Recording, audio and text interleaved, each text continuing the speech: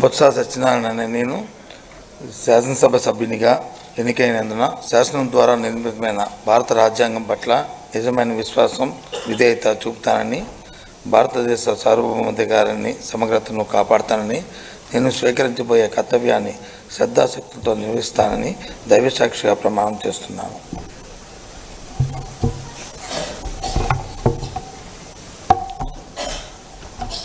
ఆంధ్రప్రదేశ్ శాసనసభ సభ్యుడినైన బొత్స సత్యనారాయణ నేను సభా నియమాలకు కట్టుబడి ఉంటానని వాటిని అనుసరిస్తానని సభా మర్యాదలను పాటిస్తానని సాంప్రదాయాలను గౌరవిస్తానని దైవసాక్షిగా ప్రమాణం చేస్తున్నాను.